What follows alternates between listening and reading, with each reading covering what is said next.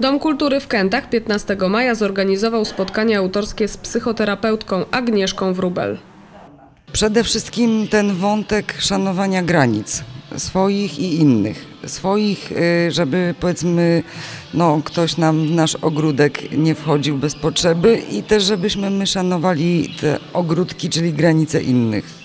Warto zacząć od tego, o czym mówiłam wcześniej, czyli takiego szacunku dla e, granic i terytorium psychologicznego każdego człowieka, bez presji, bez narzucania, a jednocześnie z taką siłą i odwagą do tego, że można odmówić bez poczucia winy, bez y, mm, żałowania, że się na przykład właśnie dało e, zmanipulować, jeżeli się nie odmówiło.